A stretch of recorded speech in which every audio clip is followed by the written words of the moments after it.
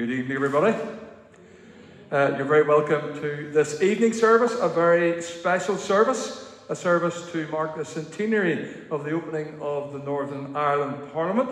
And it's not uh, every time uh, that you will have the opportunity to come and, and, have this. I don't think any of us will be around for the next 100 years, but who knows what will happen uh, indeed in the future. So it's just lovely to see uh, so many gathered in here and then also joining uh, with us online. We have a number of people uh, watching as well. Uh, technology is a wonderful thing when it works, so hopefully everything goes to plan tonight.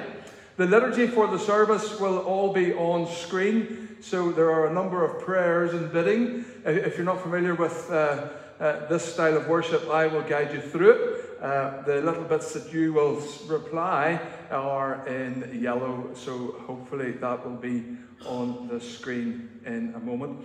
Uh, and I want to thank a, a colleague of mine, uh, Reverend uh, Dr. Stanley Gamble, to give him his proper title. Stanley um, put together this liturgy for this special service, and the Church of Ireland have asked if we could, if we could do a service of uh, remembrance and indeed uh, to remember the formation of Northern Ireland. And likewise, it, because the Church of Ireland covers two jurisdictions, there's a similar service uh, that's taking place probably in many churches throughout Ireland and, and, and throughout. I, I, don't know if I, online you can call it the Free State or whatever we used to call it, but uh, that's taking place there to commemorate uh, their uh, coming into being as well. And so there's a little statement just to read out uh, before we begin with our greeting. Just to remind you that we are still under the regulations. It's lovely to see us all spaced out. Face masks are to be worn at all times, unless, of course, you're reading from the front. Uh, it's lovely to see uh, Professor Walker here and, and, and, Johnny Andrews here as well. Uh, they'll be sharing a few bits and pieces with us uh, during uh, this service. It's also a time for us to remember perhaps those who have lost their lives in uh, the troubles here in Northern Ireland. And I'm not going to take away from our historians uh, as they speak to us, but it, it, it's important that we also remember that. Hence why, uh, you know, for me, it's quite, it's quite poignant in, in that 30 years of service in, in the police here in, in, Northern Ireland. I lost a number of colleagues, so it, it's, just, uh, it's just nice to be able to be here to do this. So the statement goes it says, This year marks the anniversary of the creation of Northern Ireland. It provides us with an opportunity to look back and reflect on the last 100 years and also to look forward in the present to the future that lies before us. The Government of Ireland Act 1920 came into force on the 3rd of May 1921, partitioning Ireland, creating Northern Ireland. The first election to the Northern Ireland Parliament took place later that month, and on the 22nd of June 1921, the new Parliament was formally opened by King George V at Belfast City Hall. In his speech, the King called for all Irishmen to pause, to stretch out the hand of forbearance and conciliation, to forgive and forget, and to join in making for the land which they love, a new era of peace, contentment, and goodwill. Sadly, this call was left unheeded by some sections of society at various points in the last 100 years, with tragic episodes of conflict, discontentment, and ill will. Thankfully, good has prevailed over evil, with a new era emerging in recent times and a fresh commitment to peace, prosperity, and power, sharing in better relations between North and South, East and West. Indeed, the focus of this service is on good governance and civic responsibility. The prayers of repentance encourage us to learn from the mistakes of the past, individual and corporate as Her Majesty the Queen said in her speech in Dublin 10 years ago, with the benefit of historical hindsight, we can all see things which we would wish had been done differently or not at all.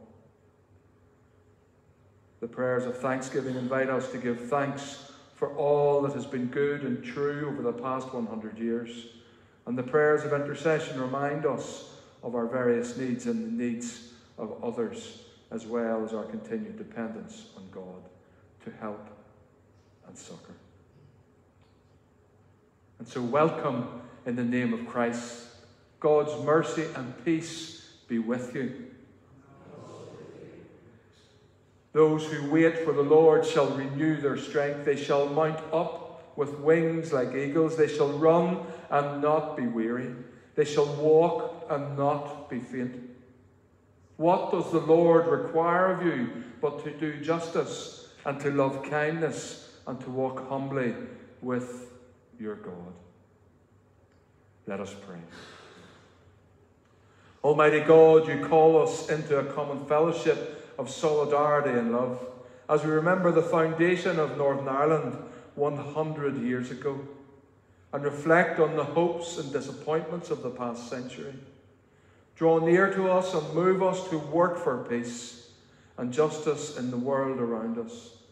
In the name of whom, of him who is Prince of Peace, Jesus Christ our Lord. Amen. Amen. We are uh, going to sing a couple of hymns tonight, and then at the end of the service, we will join together in the national anthem. And uh, these hymns have been chosen specifically. Uh, the, the, first hymn, Dear Lord and Father of Mankind, is a very familiar hymn uh, for all of us as we go forward in this land. And then the last song is In Christ Alone. It's a newer hymn, but it's written by a couple from Northern Ireland. And so we've been encouraged just to use slightly different songs and hymns throughout uh, this service of commemoration. So we're going to stand together and sing hymn 549. The words will be on the screen. Dear Lord and Father of mankind.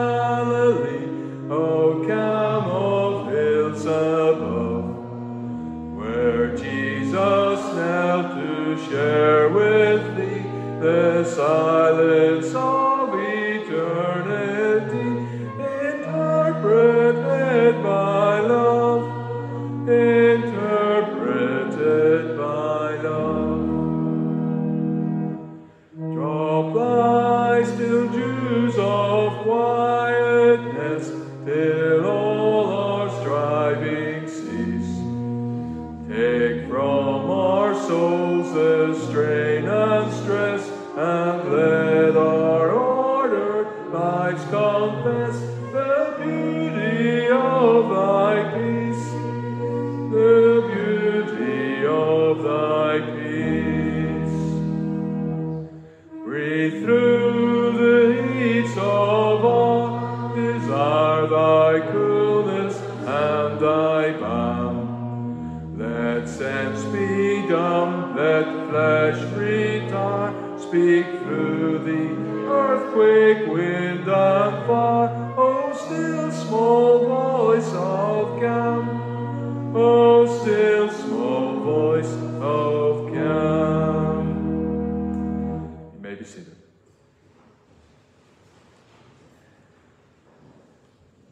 confess to God our share of the sins and shortcomings of the world its pride, its selfishness, its greed, its evil divisions and hatreds.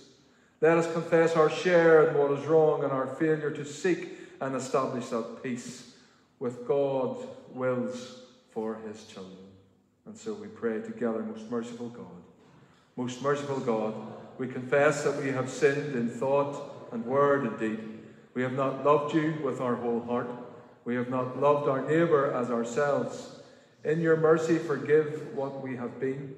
Help us to amend what we are and direct what we shall be, that we may do justly, love mercy, and walk humbly with you through Jesus Christ our Lord. Amen. And Almighty God, who forgive all who truly repent, have mercy on you, pardon and deliver you from all your sins, confirm and strengthen you in all goodness, and keep us in everlasting life through Jesus Christ our Lord. Amen. Amen. Uh, the collect uh, for uh, this service, let us pray. God of our past and God of our future, from whom all authority comes, on this centenary of the opening of the Northern Ireland Parliament, we pray for the Legislative Assembly and its executive. By your gracious help, may it give Northern Ireland good governance, serve with integrity, and seek the common good, that all people may live peaceably and grow in respect for one another. This we ask through Jesus Christ our Lord. Amen. Amen. Professor Walker.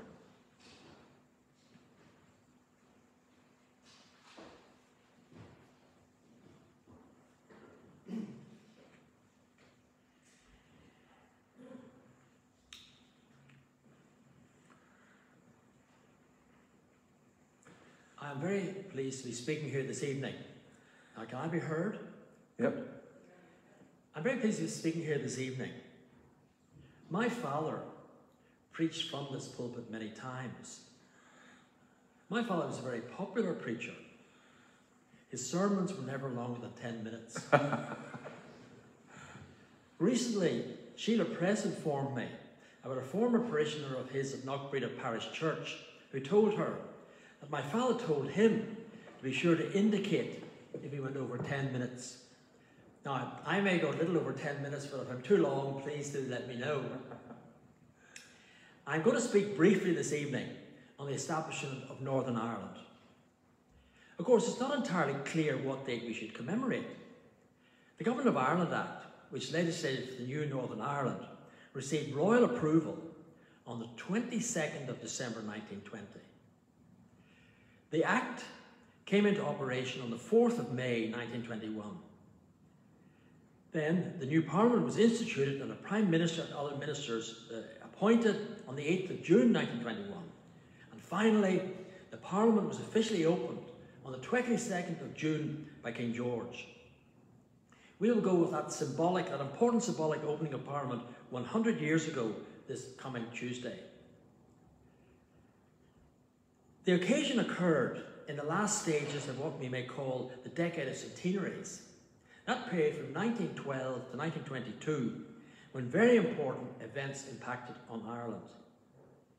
In fact, the date 1912 came after nearly three decades of important development in Ireland, when politics reflected strong divisions between Unionists on the one hand, Unionists mostly based in the north, who wanted to maintain free union with Great Britain, and nationalists who wanted home rule. In 1912, Ulster Unionists signed the Ulster Covenant to oppose the Third Home Rule Bill. The Ulster Volunteer Force was formed, which led to nationalists forming the Irish National Volunteers.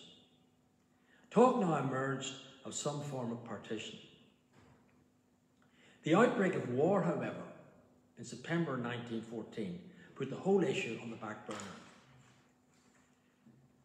Large numbers, Unionists and Nationalists, then volunteered for the war effort.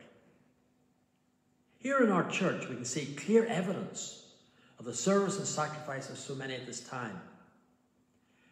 On the main church wall, you can see the memorial to the son and grandson of the rector, the Reverend George Mitchell, who died when the Lusitania was sunk on the 7th of May 1915.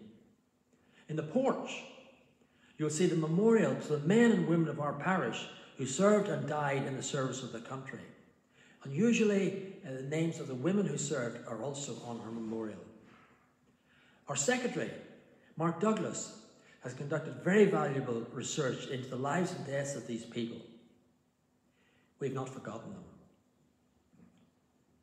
When the war ended, the political situation had changed dramatically in Ireland. After the 1916 Dublin Rising, there was a rise in support for a more advanced form of Irish self-government. In 1918, Sinn Féin became the dominant nationalist party, and the following year saw the beginning of the War of Independence, or Anglo-Irish War, between the IRA and Crown forces. At Westminster, efforts to find a political solution resulted in the Government of Ireland Act, which partitioned Ireland into two political entities and laid out parliaments for each. Given the confrontation between unions and Sinn Féin nationalists, I believe there was no realistic alternative to partition in 1920. However, it's very interesting to note that at Westminster, when the Government of Ireland Act was debated, which established Northern Ireland, not a single Ulster Unionist MP voted for it. On the 3rd of November 1920, Sir Edward Carson, the Unionist leader, explained why. He said he'd been against Home Rule in 1912. They'd all been against Home Rule in 1912, and they were still against it. So he would not vote for it. But he would not vote against it. The Act did have advantages. It recognised the rights of Unionists in the North to self government. He believed that people in Ulster were now ready for their own parliament. So they welcomed the Act at the end of the day, although they didn't vote for it. Uh, Sinn Féin did not accept the Government of Ireland Act, and so only Northern Ireland, based on the six northeast counties of Ireland, came into existence.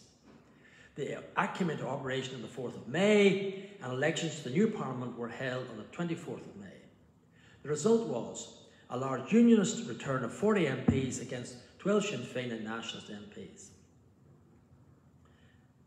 On the 7th of June, the Parliament was formally constituted at, an event in the Belfast City Hall. We sometimes think you know, the big date is 22nd of June. Yes, that's correct. But a couple of weeks beforehand, it's the Parliament is formally constituted at an event in the Belfast City Hall presided over by the Lord Lieutenant Viscount Fitzalan.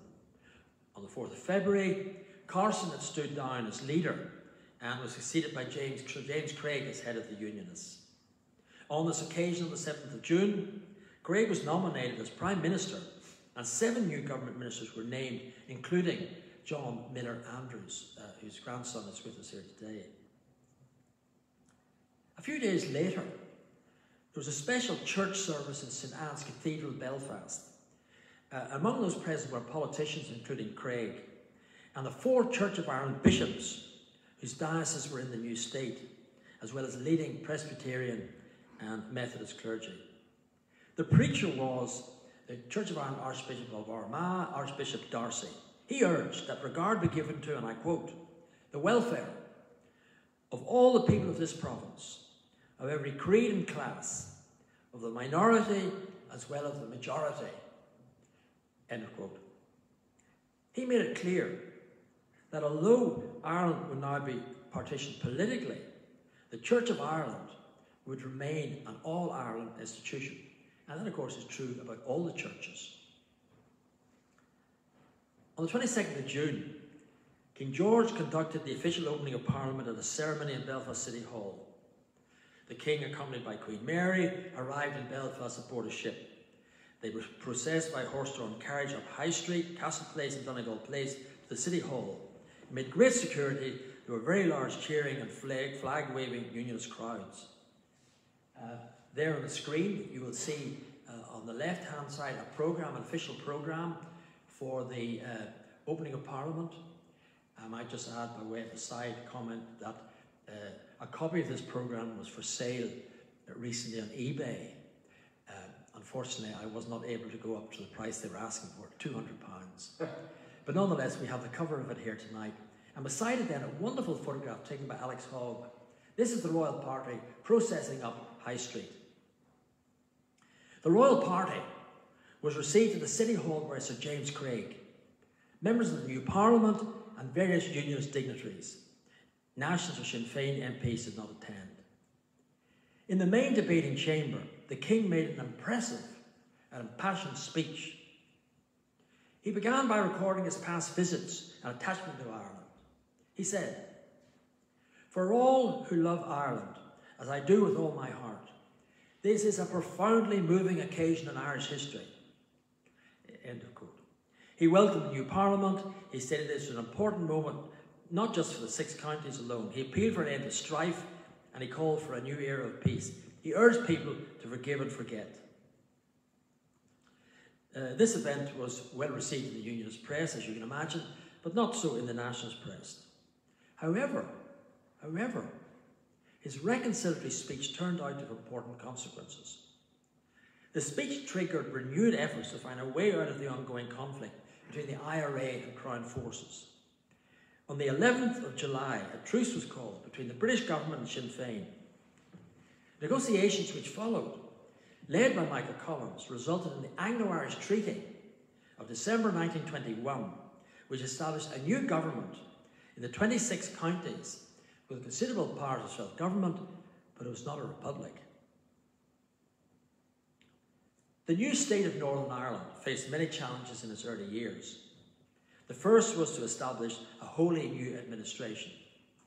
Uh, efforts were started in this way even when the Government of Ireland Act was underway, uh, and in 1921, uh, efforts were made to design a new government. It would have six ministries, a civil service, and these uh, actions were taken to provide a, a new form of uh, administration for the new Northern Ireland government. The new state, however, also faced significant political problems. The new political settlement I've talked about for North and South was welcomed widely North and South. However, however, in both parts, it left significant minorities who were opposed to the new arrangements. Elsewhere in Europe at this time, other new states were formed, such as Czechoslovakia and Poland. They also had important minorities, arising from national, religious, or language divisions. So we were not unique in this problem. Uh, in Northern Ireland, there was a significant Catholic minority who were mainly nationalist or Republican in politics, and who regarded themselves as being in a state which is not of their making, nor enjoying their support. Their opposition to the new state was expressed in non-violent forms of protest, such as boycotting the new parliament. More extreme nationalists, however, used physical force in the form of a major IRA offensive against Northern Ireland in the first six months of 1922. Some 300 persons died in these months. The new Irish state, called the Irish Free State, also had important minorities. They had two minorities. Those in the three Ulster border counties were aggrieved at finding themselves in the southern state. Those Protestants and Unionists eh, in the three Ulster border counties were aggrieved at finding themselves in the new southern state. After the Anglo-Irish Treaty, however, their leaders declared their support for the new state. More important, however, was a second minority and this emerged within Sinn Féin, who rejected the Anglo-Irish Treaty for not delivering a republic. This led to a civil war, 1922-3, with some 1,500 fatalities, uh, which is actually much greater than the loss of life in Northern Ireland in 1922. So Northern Ireland was not unique in the problems it faced in these years.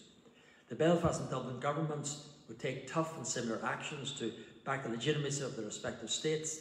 In the end, however, in the end, both would survive. Let me make some brief concluding comments.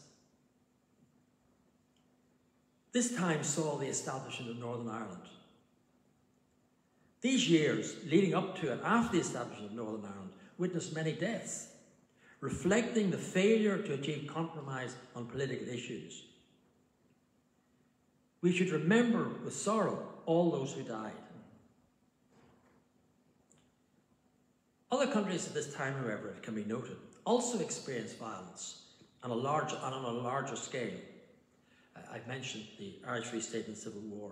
In Finland, a civil war in 1918 led to 25,000 deaths. Northern Ireland witnessed very little permanent displacement of population. This contrasts markedly with other countries which also experienced partition and with those countries in Eastern Europe at the same time, Eastern and Central Europe, other states were set up. There was mass forced emigration uh, of population. This did not happen here in Northern Ireland at this stage. Northern Ireland was not unique in the problems it faced, but it avoided the extremes found elsewhere. In the end, Northern Ireland survived. It has also survived the last hundred years. We can be proud of this. Other states established at this time, Czechoslovakia and Poland, collapsed only a few decades later due to deep divisions and external forces. Northern Ireland and the Irish Free State were rare examples of two which survived. Over the next 50 years, from 1921, both states experienced failures and successes. In the case of Northern Ireland, there was a failure to establish a system of government and society which included all communities. Unfortunately, the constitutional issue remained at the core of our politics. The main success, however, of Northern Ireland was in its economic and social policies. Every decade, the population increased. By 1971, the Northern Ireland population had increased by 22.2% compared to its 1926 figure. This is a considerable achievement uh, that so many people were able to stay here, make a home here, get jobs here. The population increases by 22%. Now, in the case of the Irish Free State Free Republic, there were also successes and failures. Its success was the establishment of a prominent place in the international stage uh, for the country.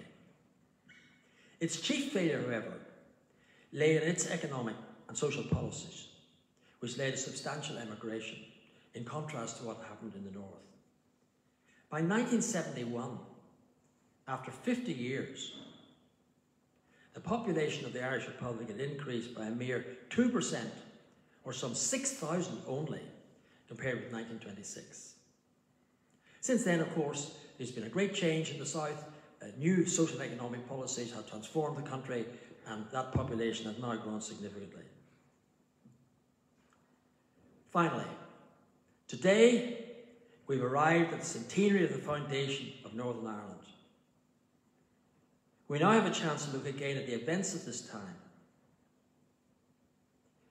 We have the advantage of having achieved very largely, not entirely, very largely, an accommodation over our political divisions, thanks to the principle of consent. Hopefully, hopefully, we can recall this earlier period with both understanding and empathy. Thank you.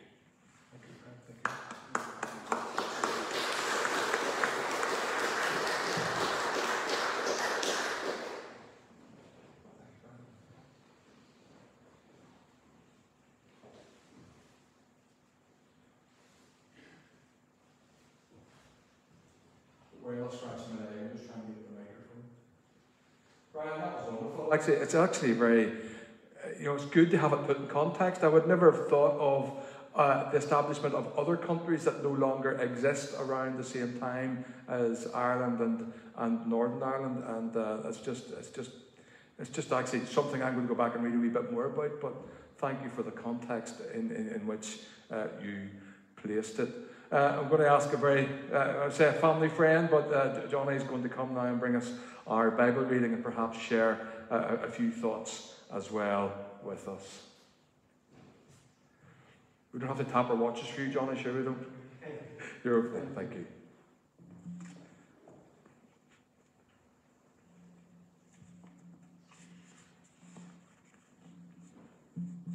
Um, the lesson is taken from Corinthians 2, chapter 5, verses 11 to 21. The ministry of reconciliation. Since then we know what it is to fear the Lord, we try to persuade others. What we are is plain to God, and I hope it is also plain to your conscience. We are not trying to commend ourselves to you again, but are giving you an opportunity to take pride in us, so that you can answer those who take pride in what is seen rather than what is in the heart. If we are out of our mind, as some say, it is for God. If we are, if we are in our right mind, it is for you. For Christ's love compels us, because we are convinced that one died for all, and therefore all died. And he died for all, that those who live should no longer live for themselves, but for him who died for them and was raised again. So from now on, we regard no one from a worldly point of view. Though we once regarded Christ in this way, we do so no longer. Therefore, if anyone is in Christ, the new creation has come. The old is gone, the new is here. All this is from God, who reconciled us to himself through Christ and gave us the ministry of reconciliation. That God was reconciling the world to himself in Christ, not counting people's sins against them. And he has committed to us the message of reconciliation. We are therefore Christ's ambassadors, as though God were making his appeal through us. We implore you on Christ's behalf, be reconciled to God. God made him who had no sin to be sin for us, so that in him we might become the righteousness of God. This is the word of the Lord. Thanks be to God.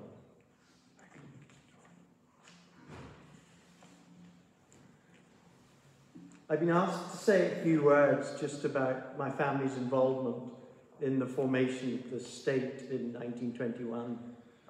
Uh, there's, there's no doubt the state was set up in a time of great turbulence and it was not seen as something really to celebrate at the time. It was a surprise, as Brian said. Uh, Unionists did not want home rule. Uh, Carson, the leader of the Ulster Unionists, wished to stay with the United Kingdom. So, in looking at the centenary of the province, I believe it's a time not only for commemoration and celebration, but also for giving thanks. Yeah. Uh, in particular, we must commemorate the people that died in the sectarian violence that took place in that year.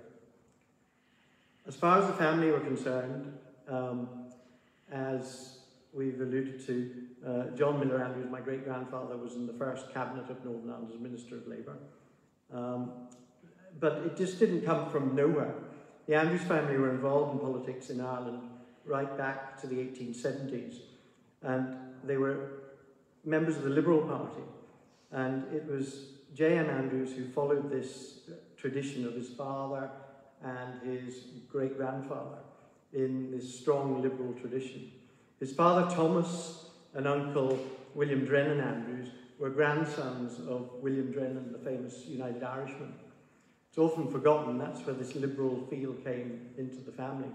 It's often forgotten William, William Drennan was a famous campaigner uh, in the lead up to the 1798 rebellion. And it was those United Irishmen that were mainly Presbyterians at the time, uh, who were possibly mostly absorbed into the Church of Ireland Church, and there was a bit of a, a, blur between whether people were Presbyterian or Church of Ireland at the time, um, because until emancipation, Presbyterians weren't able to worship in their own churches. So there was this great liberal tradition in the family, and it was William Drennan Andrews who first fought a by-election, famous by-election in 1872 against uh, Lord Castlereagh, the Conservative candidate, narrowly lost. Uh, but that set the tone for liberal politics within the family, and his younger brother then went on to become leader of the Liberal Unionists and was the lead speaker at the 1892 convention uh, in, in Balmoral, which led to the overthrow of the, the second Home Rule Bill. Uh, Thomas again was the lead speaker in the convention 20 years later in 1912, uh, campaigning against the third Home Rule Bill. And in parallel with that, it was great grandfather J.M. Andrews who began his career in politics in 1912, uh, and he was very involved in helping Carson with organising the Covenant. He went on to be a delegate uh, and was associated with the uh, Irish Convention of 1917, which was the last attempt at creating an all-Ireland solution to avoid partition. Um, we mustn't get too political here, but that convention fell on the whole idea of fiscal responsibility. Who was going to take fiscal responsibility, i.e., raising taxes, and, and, and in the unionist view, that should have been retained in London, reserved in London. But that was rejected by the Sinn Féin delegation. So there was really no, as Brian said, option but partition after that. So that led to what really has become a fine example of a two-state solution, which, as you know, has been promulgated in, in, in, in, other areas of, of the world, and in particular in the Middle East, um, in Palestine.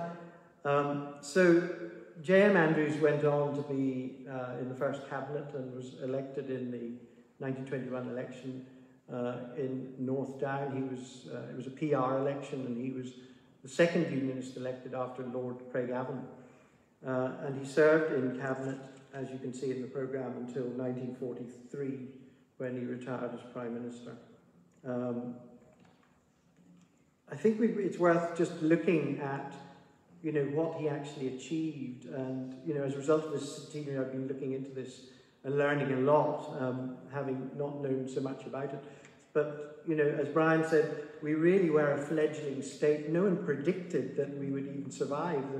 The, collapse was predicted, and, and for, for a few years after it, particularly from the south, uh, many people thought it would, it would collapse quite quickly. Um, but, you know, the ethos was, as Craigavon said, that, you know, while we didn't really want Home Rule, the Government of Ireland Act was effectively the fourth Home Rule Bill. And uh, Craig did say that uh, it was important that we had the freedom to manage our own affairs and protect our civil and religious liberties. And it was great grandfather who, who famously said that the um, Government of Ireland Act was an earnest attempt to solve the Irish problem, which had haunted British governments for 30, 40 years. Um, so he, he, he was very involved, along with the other five members of the cabinet, in setting up this new government against all odds um, was predicted not to survive. Um, quite quickly, nothing like focus to ensure survival, quite quickly uh, the government of Northern stabilised the security situation with, really within a year. Um, and by 1924 the boundary was secure. Um, the, the election of 1924 uh, ensured that um, there was a, a unanimous vote. Um, even nationalists were abstaining on, in border areas, which basically confirmed the boundary. And then 1926, um, great grandfather was very involved in, in the agreement on the Reinsurance Act, which underpinned our financial security uh, as equal partners within the United Kingdom. And that was further negotiated uh, by 1938.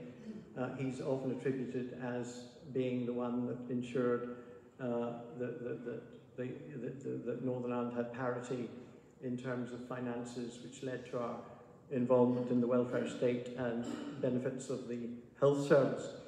Um, he went on to be Prime Minister on the death of Lord Craigavon, and of course, it's in that period, I think, that Northern Ireland earned great respect within the rest of the kingdom for the contribution to the Second World War.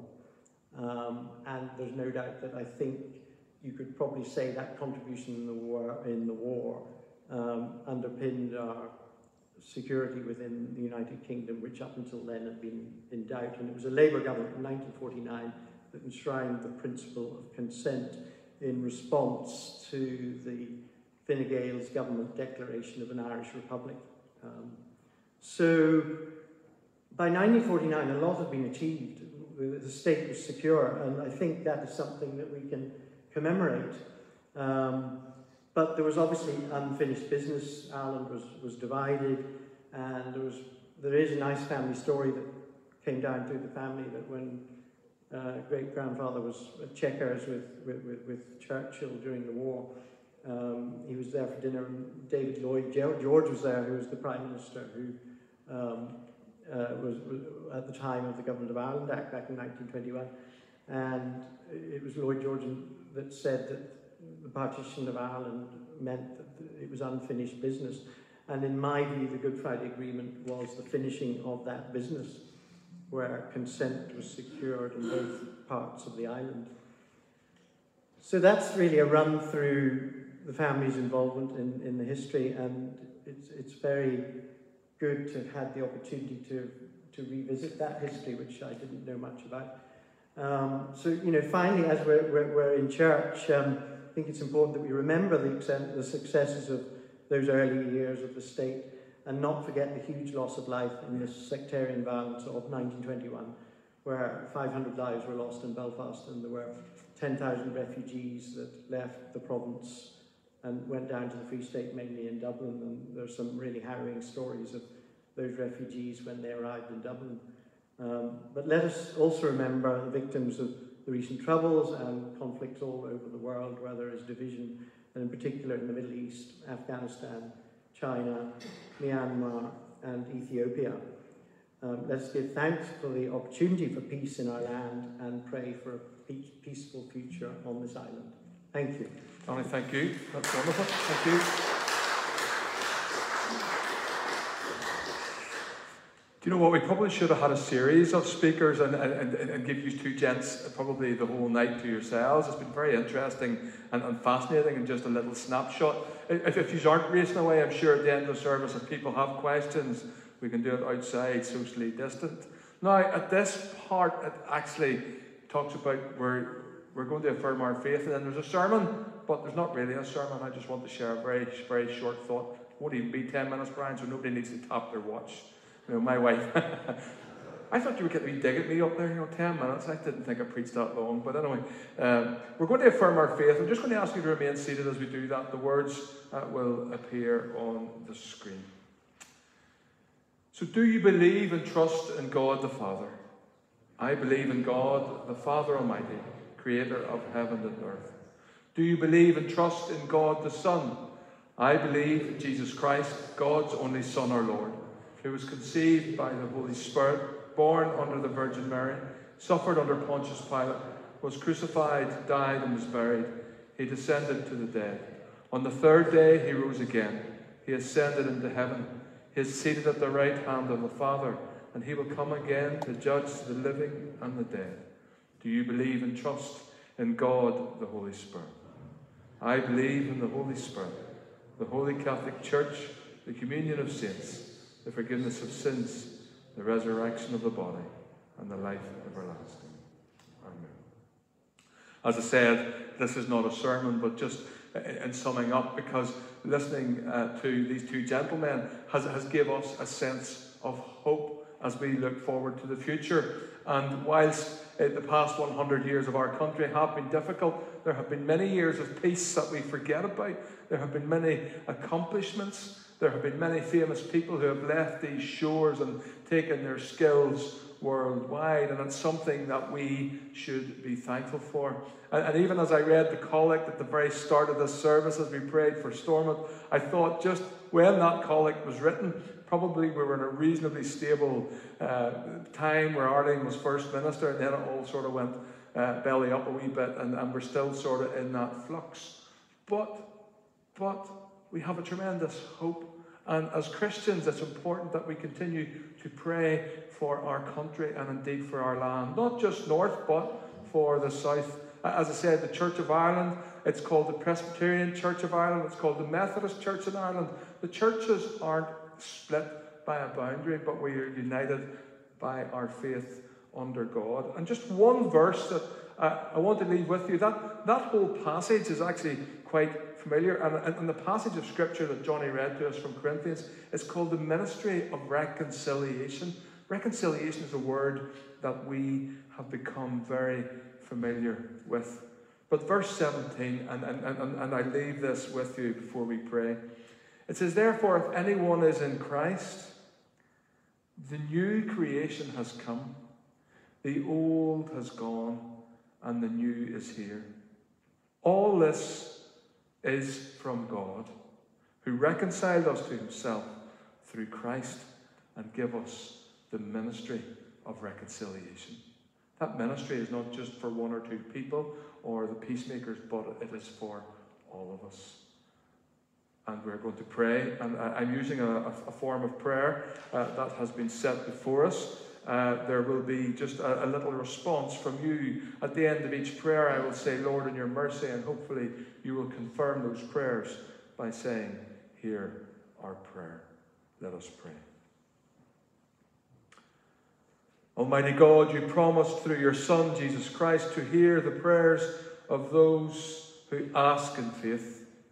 We pray for your church in all the world, for its unity and mission. Lord, we pray especially for this diocese of Down and Dromore and um, for David, our bishop. Lord, we pray for all Christian leaders in this community around us. Lord, in your mercy, hear our prayer.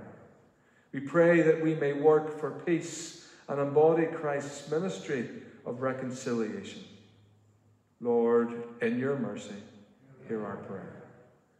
We pray for those whose discipleship brings them into places of conflict and risk, and those whose help to demolish walls of mistrust and prejudice. Lord, in your mercy. Lord, we pray for all who stand alongside victims of hatred and sectarianism, that your church may work unceasingly for human rights, equality, and justice in the world. Lord, in your mercy. Lord, indeed, we do pray for our MLAs and members of the Northern Ireland Executive, especially at this time. Lord, we pray for leaders of this land, Lord, and indeed of all nations, north and south. We pray that they may be given the courage to choose good and reject evil in accordance with your will. Lord, in your mercy. Lord, we pray for all those who display courage in upholding justice and in preserving peace throughout the world. We pray for our fellow countrymen and women who work for the resolution of conflict in our society and beyond.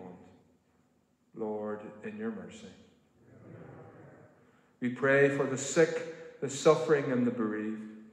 Lord, we especially remember those among us and in our community who bear the physical and psychological scars of the past. Lord, we just pray for healing in their bodies and in their minds. Lord, in your mercy.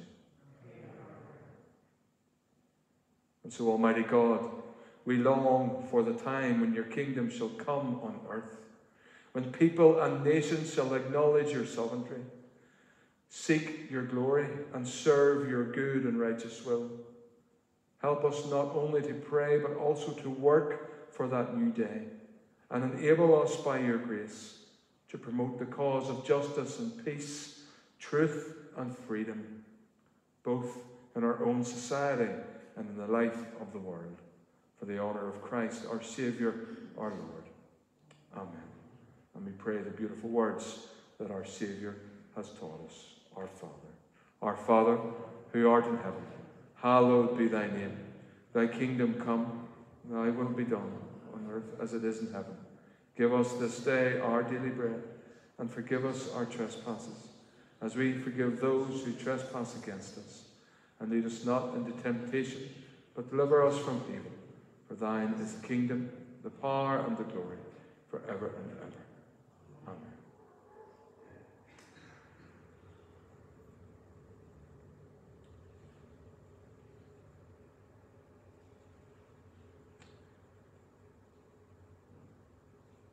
I just realised I forgot to slip in in Christ alone into the PowerPoint. Uh, just bear with me, and I will actually find uh, that hymn uh, for you.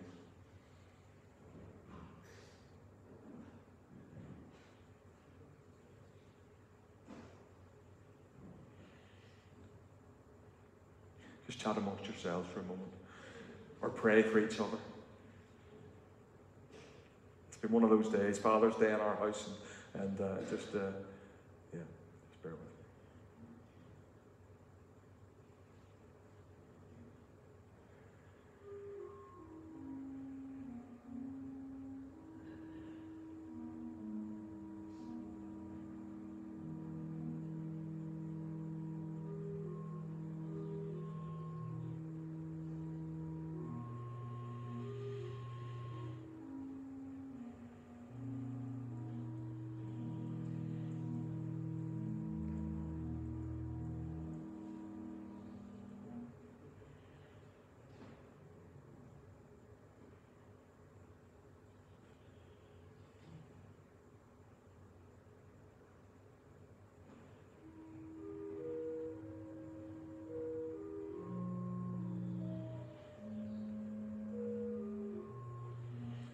Please stand.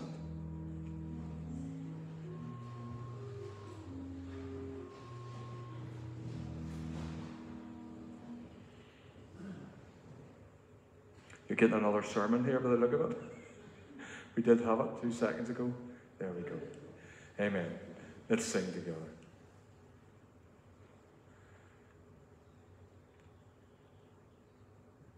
Yes? Okay. Christ alone, my hope is found. He is my light, my strength, my soul.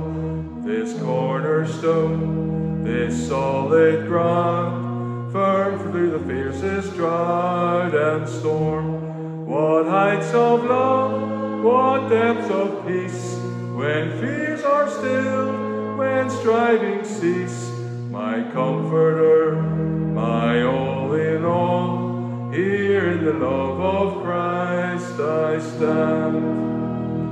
In Christ alone, who took on flesh, fullness of God in helpless pain, this gift of love and righteousness, is won by the ones he came to save, till on that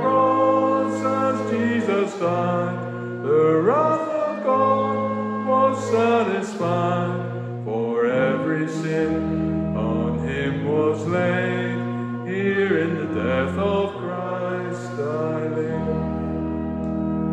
There in the ground his body lay, light of the world by darkness slain, then bursting forth in glorious day, up from the grave he rose again, and as he stands in victory, since curse has lost its grip on me, for I am his and he is mine, bought with the precious blood of Christ. No guilt in life, no fear in death, this is the power of Christ in me. From life's first cry to final breath, Jesus commands my destiny. No scheme of man can ever pluck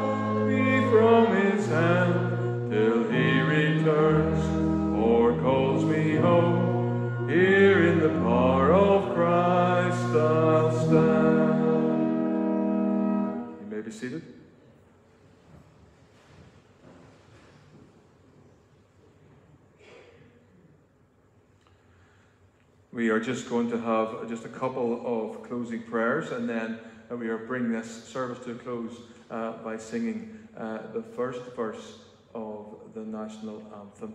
And so we just want to continue in that attitude of prayer. The prayers should uh, appear on the screen. Let us pray. Heavenly Father, as we mark the centenary of the opening of the Northern Ireland Parliament, grant to us a true sense of what is to be your people in the world.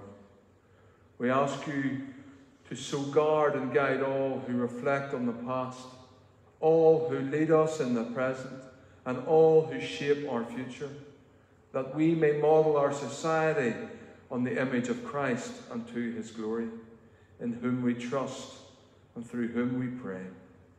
Amen. And to him who is able to keep us from falling and to present us before his glorious presence without fault and with great joy. To the only God, our Saviour, be glory, majesty, power, and authority through Jesus Christ our Lord, before all ages, now and forever. Amen. And we stand together and invite you to join with us as we sing the first verse of the national anthem.